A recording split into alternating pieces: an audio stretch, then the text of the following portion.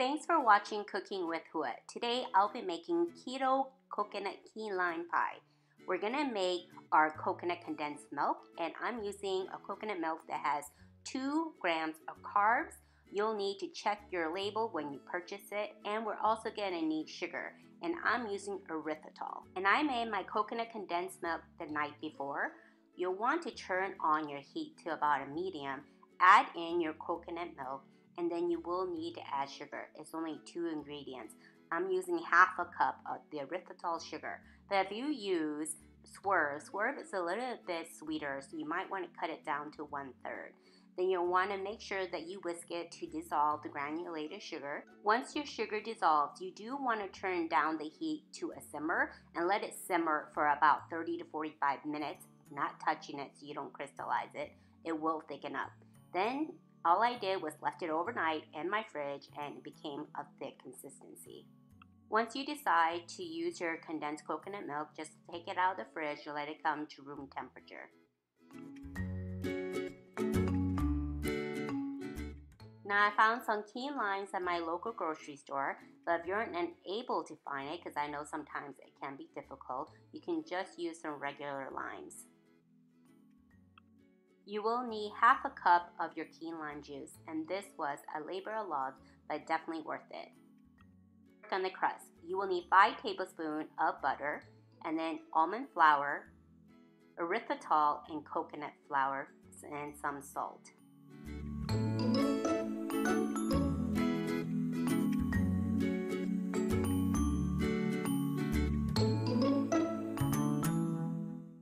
Just mix all your dry ingredients until they're all incorporated and then set it to the side. Add in your melted butter and into your dry ingredients. Now I use unsalted, that's why I added salt to my dry ingredients. If you only have salted butter, then don't add in the salt. Then you'll want to mix it until it comes together like wet sand. And you should be able to pick it up and pinch it and it should stay together. That's when you know you are done using a spoon to press down the crust mixture just to make sure that it's well patted down to the bottom. And then I'm going to also use a measuring cup just to press it down to make sure that it's all in place. I'm using mini ceramic pie dish, but if you don't have it, you can just use a regular 12 muffin tin, and instead of 8, you can actually make 12. In a preheated oven at 350 degrees, you will want to bake these at about 10 to 12 minutes, depending on your oven. Get started on the filling. You will need to separate your egg yolks from your egg whites, and you will need a total of 4 egg yolks. Make sure your eggs come to room temperature before you whisk it. Now don't waste the egg whites. You can actually make it for breakfast or else I'll show you another video on keto macaroon. Add in your four egg yolks to your KitchenAid. If you don't have a KitchenAid, you can use a regular hand whisk. Now you will want to whisk these egg yolks until they come to a very yellow pale color. And by doing that, you're going to add it more volume to your key lime custard. This can take up to about 6 to 8 minutes, just be patient.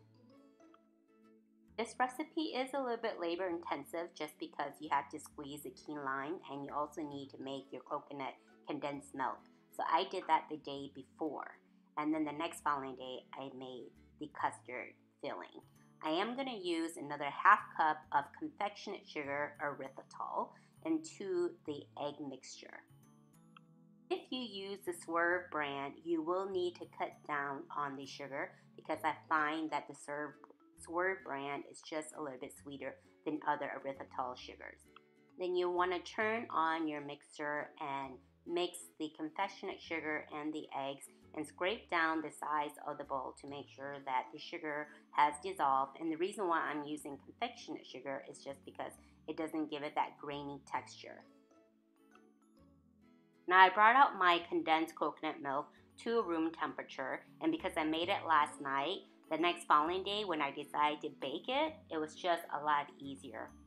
Add in your coconut condensed milk to your egg and confectionate sugar And because I was a little bit short on the condensed milk, I'm going to add in about 2 ounces of heavy whipping cream.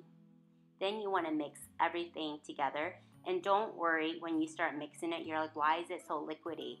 It will come together at the end, trust me.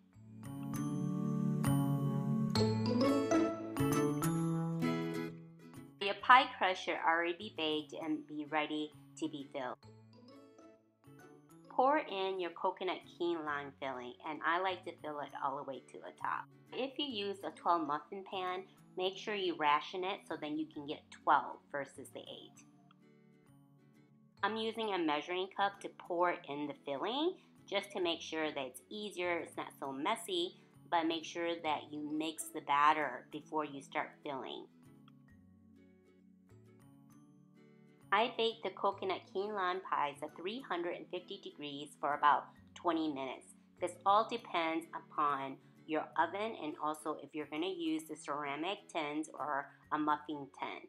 So check your time at 12 minutes. Mine took 20. The top of your pie should be set but still jiggly in the middle. That's when you want to pull them out. Cool them for an hour before you put them in the fridge for 4 hours. I like to have whipped cream on top of my coconut key lime pies. So as a pro tip, what you want to do is mm. take your bowl and your mixer and put it in the freezer so it's super cold so then you can whip up the cream and it can be really nice and fluffy. Add in your heavy cream, put it on a high whisk and then add in 2 tablespoons of your confectionate sugar. Now once again, if you're going to use swerve, use a little bit less. If you're enjoying my video, make sure to hit the like button hit the subscribe, and also click on the notification bell. Make sure your coconut key lime pie comes to a complete cool before you add the whipped cream on top. When I pulled out the key lime pies from the oven, I let it cool for an hour and then I put it in my refrigerator for about four hours and then that's when I piped the whipped cream on top. And it's really up to you. You don't have to make it all fancy or whatnot. You can just pipe it all in or not use a pipe and I'm just gonna decorate it with some sliced key limes.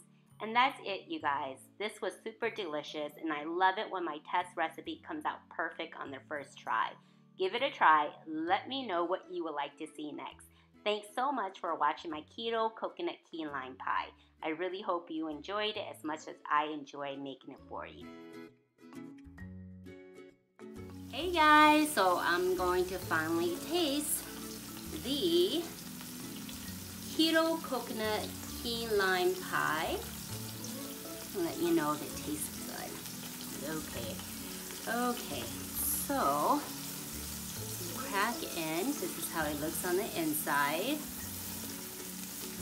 And this is a big bite, so forgive me, okay? Forgive me.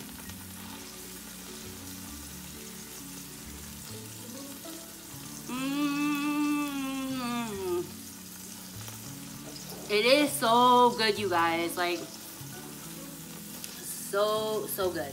Here. So good. I mean, if you don't like the coconut flavor, you can make, here. If you don't like the coconut flavor, you can make a different kind of keto condensed milk. Just Google it, you'll find it. But I like coconut flavor. I think it melts really well with the key lime flavor. It is so good. Yum!